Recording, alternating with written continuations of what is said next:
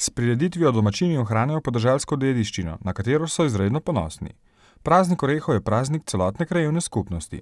Za namen smo imeli kot druženje. Pač ta stavba je bila v občinski lasti, spravili smo vas, skupaj in rekli, pač, da treba nekaj narediti, da se nekaj druži. Ideja je rasla, ko je bila že pred leti, da bi to se delalo kot praznik orehov in začeli smo s prvim praznikom, ker je bil tudi velik odziv.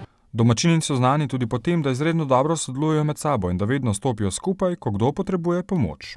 Že prej so se pošalili, ne, naše društvo tam šteje, mislim, da je okrog 144 eh, ljudi, imamo jih pa samo 120 v, v vas. Ne. Eh, in prav je, ja, kater, sem rekel, še nosečence smo šteli.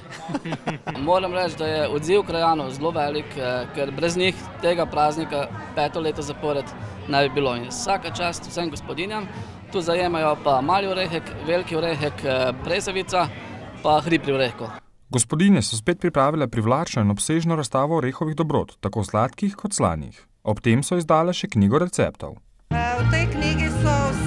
Recepti, katere smo pripravljale gospe, vse članice in tudi nekaj nečlanic.